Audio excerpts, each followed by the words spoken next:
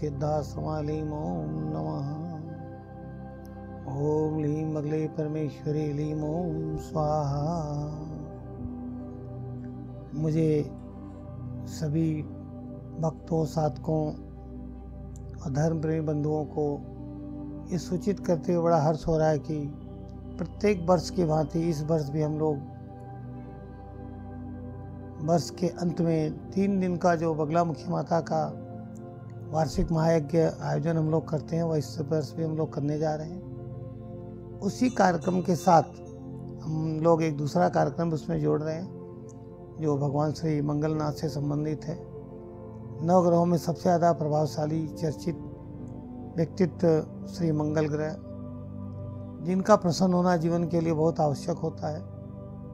उनकी साधना भी हम लोगों ने इस कार्यक्रम के साथ जोड़ रखी है तो हमारे इस वर्ष के अंत के कार्यक्रम में दो कार्यक्रम होंगे। एक प्रथम होगा मंगल ग्रह करोड़नाम मर्चन महायज्ञ, जिसमें हम लोग श्री मंगलनाथ जी को प्रसन्न करने का पूर्ण प्रयास करेंगे हर तरह से। ये कार्यक्रम 26 दिसंबर से लेकर के 1 जनवरी तक चलेगा और उसी कार्यक्रम के अंतर्गत उनतीस, तीस, इकतीस और एक जनवरी तक हम लोग माता बगलामुखी का महायज्ञ करेंगे। और एक जनवरी हमारे प्रिय बाबा भूतनाथ जी का जन्म जयंती का दिन होता है, बर्थडे तो वो भी हम लोग सेलिब्रेट करेंगे और उस दिन विशेष रूप से हम लोग माँ कामाख्या की साधना करेंगे। इस प्रकार का कार्यक्रम का आयोजन हम लोग सन 1990 से लेकर आज तक करते जा रहे हैं।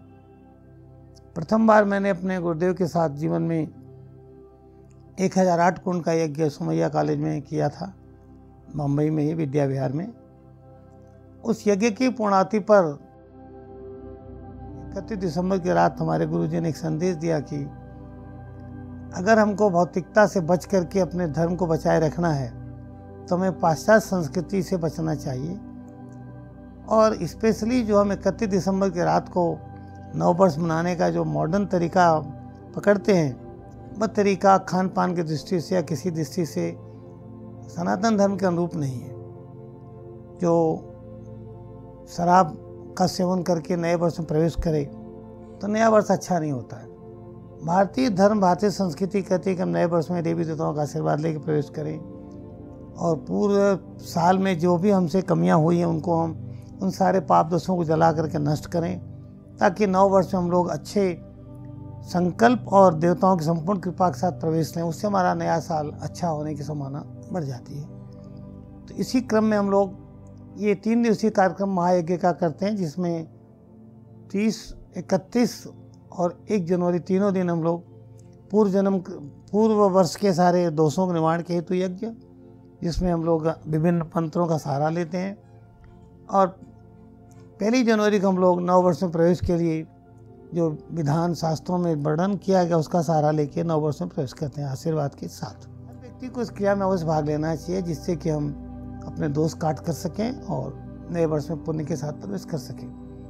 मंगल ग्रह के बारे में मैं ये समझाना चाहता हूँ कि अगर मंगल व्यक्ति के जीवन में अनुकूल है तो मंगल पराक्रम देता है, विजय देता है पुरुषार्थ देता है सामर्थ्य देता है, आकर्षण देता है, वशीकरण सम्मोहन और ये पृथ्वी का मालिक बनाता है।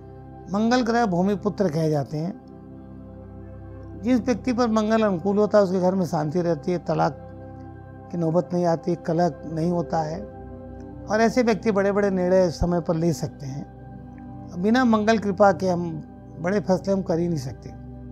पराक्रमहीन हो जाता आदमी मंगल के भाव में।